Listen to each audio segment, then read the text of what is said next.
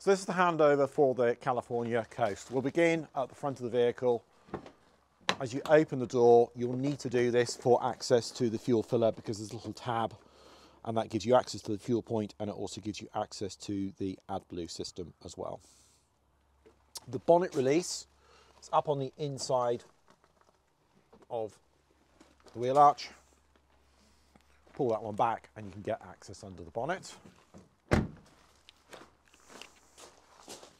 And when you do that, squeeze the tab, it goes off on the gas strut. Your power steering fluid and oil filler are there. Your screen wash, radiator fluid and brake fluids are all around on that side of the vehicle. And then your dipstick down the front. When you move towards the back of the vehicle, you've got your access for your fresh water tank. So the smaller key in, twist, and use a hose pipe uh, to fill up that tank. There's a drain point on that tank, which we'll show you shortly.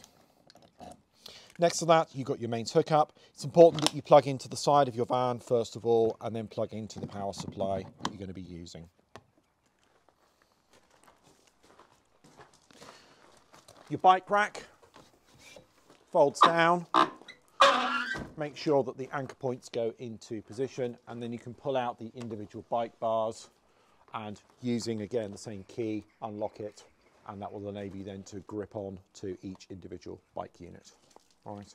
You've then got straps, and these can be slid backwards and forwards as well and adjusted, and they're released completely then to go around the individual wheel hubs. Firm press up with the bar down, and that should lock back into position like so. When you open up the tailgate, you're then able to gain access into the back of the van. In preparation for what's in here, I've already taken one panel out, which is the shelf section which comes out from there. When you first look into that area, you have got a black cap here, and within that sits your 907 Campingaz bottle. If you turn the brass nut anti-clockwise, you will turn the gas supply on. If you turn the gas uh, clockwise, you will turn it off. Round on the left hand side at the top of that fitting, you will see a small red lever and that red lever is the valve for opening and closing the freshwater tanks. So at the moment it's in a closed position allowing water to enter the system. If it's turned through 90 degrees it turns it up. And then on the back wall you've also got your mains RCD. So those switches are currently in the up position which means the power is turned on.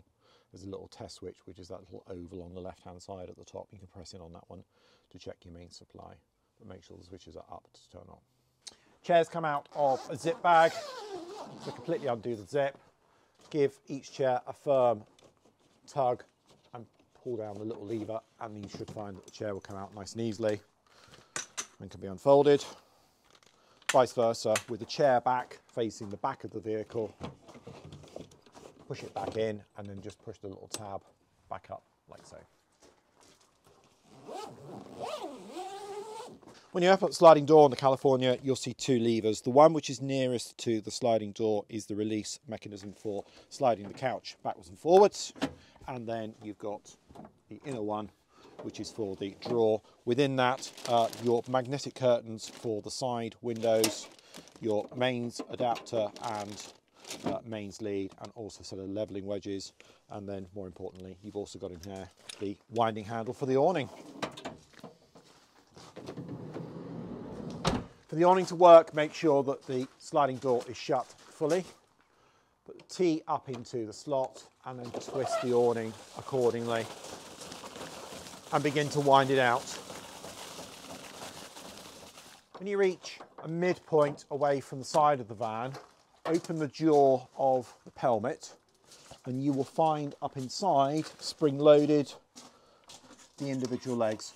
So push in on each individual tab, let the leg go down through your hand and then to lock it off there's a lever that you push back into position. It's the same for the other side, so push in firmly, let the leg go down and then lock it off. These are sunshades. In wet or windy conditions, we always recommend that you put them away. To fully extend the awning, keep winding out and walking the leg out at the same time until the awning is fully extended, like so. All right. You'll notice that these arms don't go out dead straight. They always remain in a slight dog leg position um, and that just retains the tension within the material. If the awning gets wet before you put it away, um, at the earliest opportunity, get the awning back out and dry it back off. And then to fold it away, again, it's the reverse. So fold in that clip, let the leg slide back up, squeeze it back in so that it sits behind the pelmet. Same with the front leg. And all the way back in. Like so, so that the pelmet should shut back on itself and then wind it back in.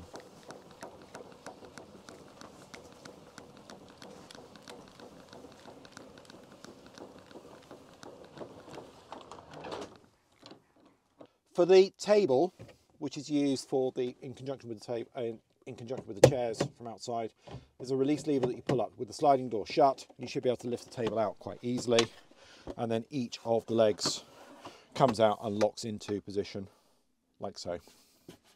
Push down on those tabs again, and that will enable you then to fold it back through. Make sure you've got the little metal bracket at the top. Load it into position from the base first of all, and then it should firmly press back up back in like so. So this is a short video for how to remove the fifth seat on a Volkswagen California. First of all, using a screwdriver or a prizing tool, insert in and underneath the plastic trim so that you force the outer cap up and out. With each one of the aluminium rails slide them forward to a vantage point where you can actually remove them and lift them off.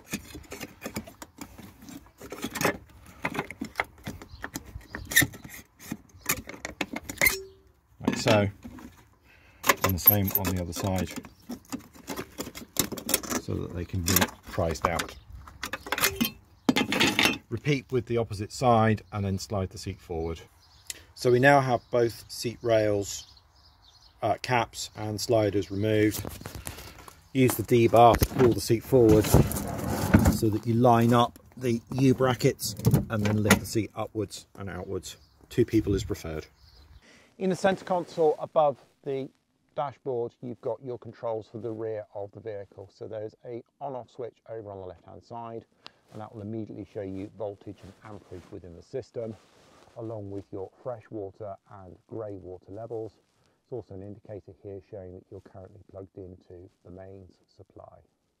For the diesel heating system to work, for the room heater, you press in on these three wavy lines at the top and you can control the temperature level using the bezel on the right hand side. Uh, there's usually a time gap, anything up to about 30 seconds or so for the diesel heater to engage before you start getting a warm air draft around and vice versa. When you switch the system off, uh, there's sometimes a delay while it shuts down. It just absorbs and uses up any unburnt diesel within the system. Amber light on there now telling you that the system is engaged and it will start to warm up the vehicle shortly. Press and hold on that one and that switches that system off. For the fridge, you turn on the frost symbol on the opposite side and again the higher the number the colder the freezer box will become. If you're wanting to go through other options then you can press in on the bezel and you can go through and physically choose different systems or if you want to make adjustments to for example so either the clock or the date and time then you can do it from there as well. Press return and it takes you back to that front menu and then to shut the control panel down hold it in for a couple of seconds, off the fridge first, and that turns that control panel off. So this is the manual roof on the coast. So pull back on plastic sections and you'll see two pairs of clips on each side. So there's a safety clip which needs to be undone first of all and let that seatbelt mechanism drop. And then you have a metal bar which you pull down on, push the clip upwards, pull that metal bar back towards you and that enables you to release one side and then it's the same, take the safety off, push in on the button and then make sure that the clip is clear before you push up on the roof. Use the main crossbar to do that and the roof should extend up and then immediately you can, if you wish, follow that with the bed mechanism as well.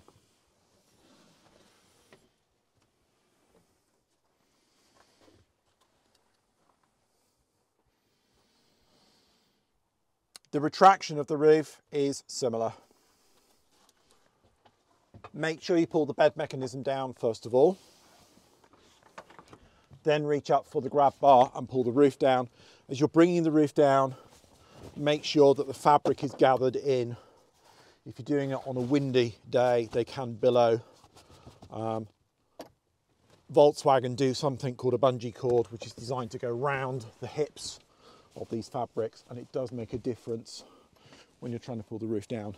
Now before the roof is fully extended, uh, sorry, descended I should say, a couple of things to make sure. First of all that there's no fabric poking out from around the edge of the seams.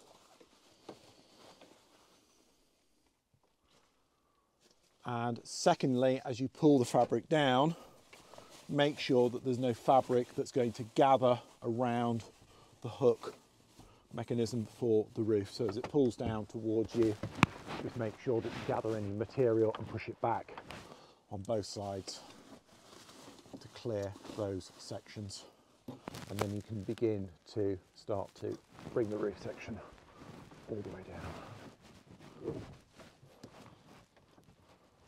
Again, push in on the lever at the base so that the bracket goes up and sits over the top. And then a similar story on the right hand side to detension it. And snap each one back into position. That should be now down and secure and then put your safety catches back on like so another check by walking around the vehicle to make sure that there is no material poking out of any of the seams if there is undo your good work and start again and then you should be then be able to draw the plastic cover back through. These are a little bit of a fiddle, they do require a little bit of patience. Occasionally the material can get caught in the track as well. So it might take two or three attempts to get them to go backwards and forwards. For the dining table, push in on the tab and slide the whole table right out and then fold it up. On the underside you'll notice a leg mechanism that you can drop down and within the leg mechanism there's another slider that you can push down to lock it into position to set the height on the table like so. Push that tab back in and then fold it back up. Table will have to be stowed away for the bed to be operated. hob and sink. We've got no water in the van at the moment um, because of the cold weather. It will be filled up um, on the day of handover, uh, but normally you would pull up on the tap and your water then will start to be pumped through and discharged from there. And then for the burner hobs, we've got the gas bottles connected up. So a couple of clicks and you should be able to turn on the gas to both burners. There's no isolators on these lids, so make sure that the burners have cooled down or are switched off before you draw the lids down. Alongside your cool box, we've already shown you on the main control panel how you access that. And you've got this little sliding section there for the windows. Down underneath the cabinet unit, over on the left hand side, there's another red lever and that's the lever for draining down your grey water tank.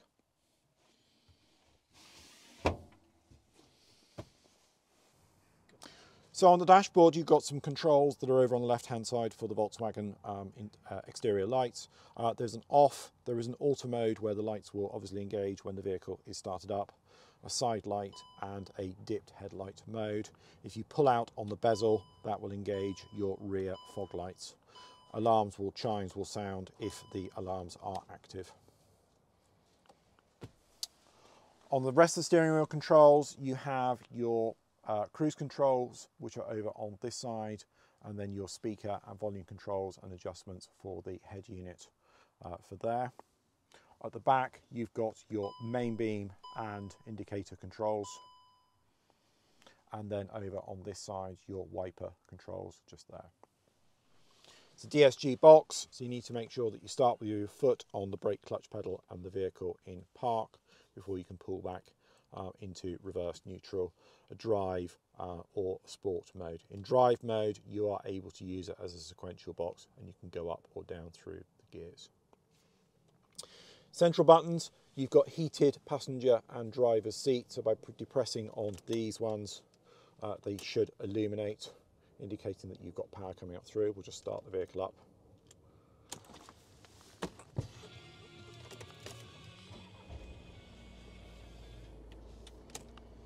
We'll just start the vehicle up to get those up and running. So you can see from there, and by selecting it, you can reduce the heat output on those. And then the central dials, you've got your temperature on the left-hand dial, the speed of the fan on that side, and then the direction of the fan, so windscreen, windscreen and feet, feet, and then round to the face vents to there. Air conditioning, heated rear wind, uh, uh, sorry, front heated uh, screen um, and rear screen. By the heat flow, um, it's the heat flow which drives up through the front, which forces airflow up to here, not an actual element within the screen, and then a recirculation one onto there. Radio controls, pressing on this one, and you can go through radio and media options. Uh, no satellite navigation, recommend that you use um, uh, Apple or uh, Android uh, car players um, and plug them into your phones or use a separate navigation system onto there. So that concludes the handover for the California coast. I sincerely hope that this van is going to give you lots of miles and lots of smiles. But if you do need to get hold of us, uh, please do. Obviously contact us via email or by phone. But thank you very much. Take care.